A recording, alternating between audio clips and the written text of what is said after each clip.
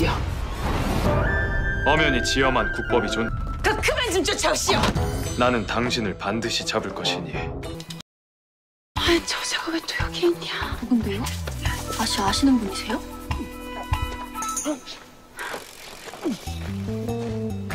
나으리 위험합니다. Welcome back. I am Karen. This is K Drama Plus. I'd like to share with you guys another new K drama, and it is entitled Night Flower or Flower That Blooms at Night. It is starring Honey Lee and Lee Jong Won, and it is shown on MBC TV.